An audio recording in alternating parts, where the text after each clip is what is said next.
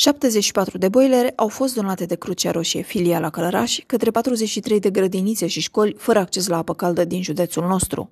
Mai multe amănunte despre campania umanitară și donațiile ce pot fi făcute în această perioadă la Crucea Roșie aflăm de la Aura Giurcă, director Crucea Roșie, filiala Călăraș. Uh, ultima acțiune importantă și foarte mare pe care am avut-o a fost uh, acțiunea pe care o derulăm pentru a treia oară consecutiv cu firma Ariston România, am adus de data asta 74 de boilere pentru județul Călăraș. Uh, toate au mers pentru um, unitățile, au venit pentru unitățile de învățământ, școli, grădinițe, licee, de la noi din județ. Majoritatea, cred că 90% sunt în mediul rural.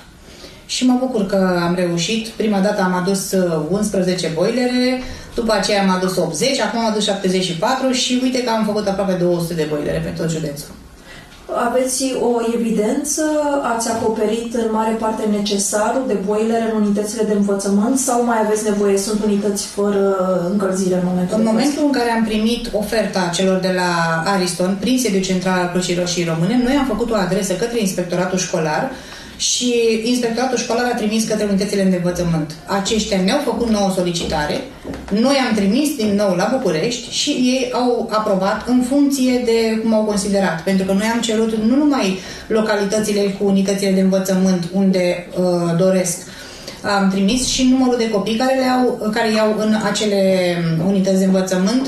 De exemplu, au fost clădinițe care au 20 de copii și au cerut două boilere de 100 de litri. Acolo clar a mers un boiler de 50. Sunt și școli unde sunt câte 600 de elevi și au solicitat unul de 50 de litri și au primit două de 100. Adică este și după cum consideră că toți vrem să primim, dar trebuie să fim și un pic realiști și um, au, au, au primit după numărul pe care l-au dat de elevi. Dați-ne câteva exemple de localități unde au ajuns aceste boilere. La Nana am dat în două rânduri, și data trecută și acum.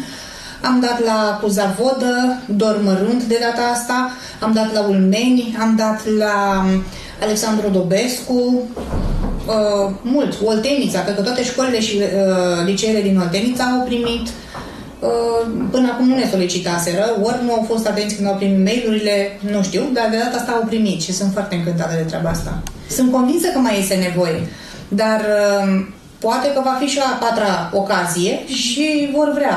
Că am zis că data viitoare, dacă mai există o dată viitoare, o să-i sun personal să-i întreb, sigur nu vreți? Nu ați văzut mail-ul? Că e păcat, adică ți se oferă și să nu, să nu vrei. Verificați dacă aceste boilere sunt montate în unitățile de învățământ, dacă ajung exact acolo de unde ați primit solicitarea? În momentul în care uh, noi le predăm, în procesul verbal este menționat faptul că au un termen o lună de zile să monteze și să ne trimită filmulețe, uh, poze cu boilerele montate, cu copiii care se spală pe mâini. Uh, majoritatea ne-au trimis în timp util, ca să putem să trimitem și noi mai departe la Ariston, când semn de mulțumire și să vadă că produsele au ajuns acolo unde trebuie. Mai sunt și alții care sunt de lăsători. Cum vă descurcați cu voluntarii? Cine vă ajută să distribuiți materialele primite? Um, anul ăsta este foarte greu. Voluntarii pe care aveam noi în mod normal, copiii de liceu, nu prea vin. Și într-un fel îi înțeleg, pentru că părinții nu-i lasă să vină din cauza acestui virus. Și ca și voluntari adulți am avut 10 voluntari care au venit în perioada de urgență pentru că oricum erau acasă și acum avem vreo 2-3 și îi forjăm pe ăștia 3.